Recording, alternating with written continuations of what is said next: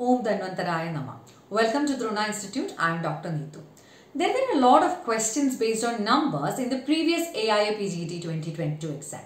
Like for example, the number of Karnarogas, the number of Siras and Koshta, etc. So today we learn the number of Karnarogas. And as you know, it is different according to different acharyas. So I'll tell you a story, okay, a code. So, Sir's daughter, who is 18 year old, got married, okay. And Vagbhata came to that marriage and gifted a silver earring, okay. Sushruta, who saw this, got angry and he pierced the ear with Shalaka and asked, Are you giving a silver earring? Okay, so this is the story. Now we'll decode it. Sir's daughter, who is 18 year old. Sir and 18 are the keywords here. Sir stands for Sharangadhara and 18 stands for the number of Karnarogas said by Sharangadhara. Vagbhata gave a silver earring. Here the keywords are Vagpada and silver.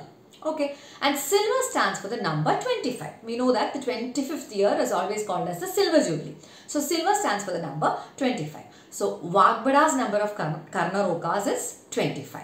Okay, now what did Susruta do? Susruta got angry and pierced the ear with a shalaka. Okay, but you will have to learn the number 28 by heart. Okay, now Susruta says number 28 for both shalaka yantra and karnarogas. Okay, so we have decoded it. So what is the number? Sharangadhara says 18 karnarogas, Vagbhata says 25 karnarogas and Susruta says 28 karnarokas and also number of shalaka yantra is also 28. Okay, pretty clear, right? So, if you want to learn Ayurveda with such tricks and codes, do join us at Drona Institute. The registration portals are open. You can visit the website www.dronaayurveda.com. Thank you.